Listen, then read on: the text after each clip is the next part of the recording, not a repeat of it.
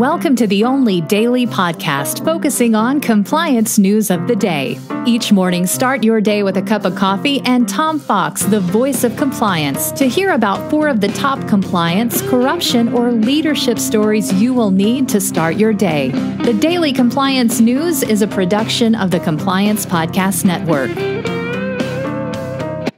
March 31, 2020, the Let Them Eat Cake edition.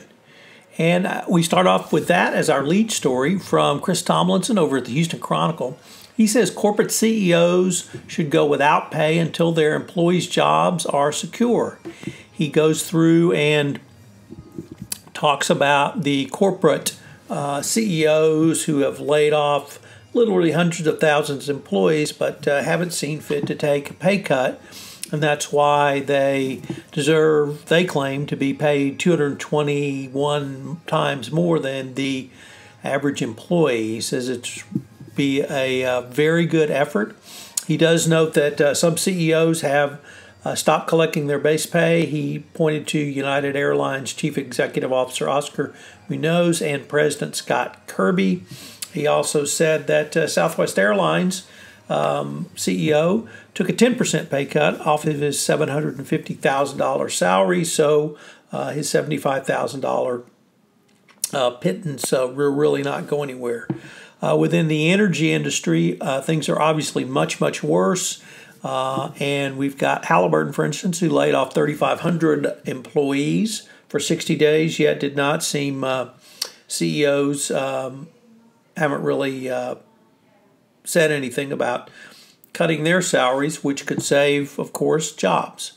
So uh, Tomlinson says CEOs need to lead from the front. They're obviously making uh, over 200 times what uh, their employees are, and that they need to do something positive in this.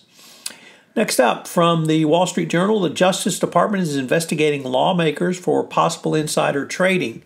The four lawmakers who sold stock immediately after the uh, national security briefing in February um, are now under investigation from the Justice Department uh, for uh, insider trading. As part of that inquiry, they've uh, FBI has reached out to uh, certain senators who sold their stock immediately after being informed of the um, danger of the coronavirus crisis. So the senator said, of course, they've done nothing wrong. It was all coincidence, misunderstanding, uh, but uh, now the FBI is involved.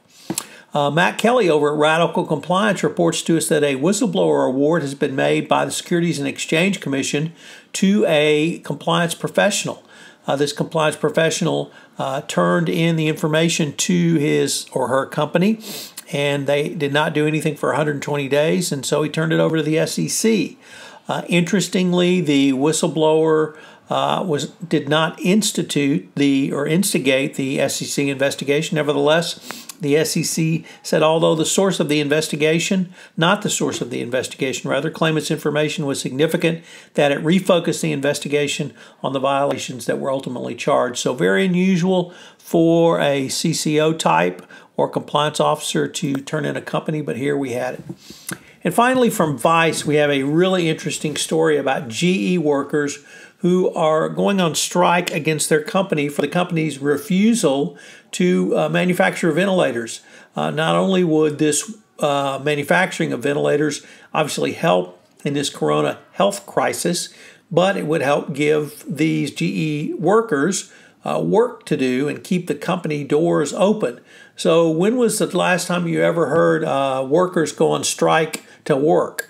Uh, frankly, I've never heard of that. So let's hope that GE uh, retools and begins to make ventilators. They're certainly needed now, and the workers obviously need the work. The government's guaranteeing payment, so I don't know why GE would uh, refuse to work. I am proud to announce a new podcast premiering this week on the Compliance Podcast Network. It's Compliance and Coronavirus. I wanted to bring some clarity and sanity to the compliance practitioner around coronavirus. So, for the next foreseeable future, at least eight weeks, I'll be podcasting Tuesday, Wednesday, and Thursday of each week on a topic related to coronavirus, COVID 19. Check it out with the daily compliance news.